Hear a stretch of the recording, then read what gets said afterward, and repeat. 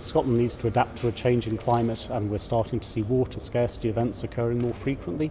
Water scarcity used to be rare in Scotland but since 2018 we've had a water scarcity event every year since and we're anticipating water scarcity in 2022 affecting some areas of Scotland as well.